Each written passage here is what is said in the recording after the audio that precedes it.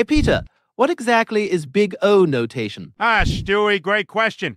Big O notation is a critical concept in computer science. It is a superpower for understanding algorithm efficiency. It tells us how runtime or memory usage scales as input grows. Not about actual seconds, but the rate of growth.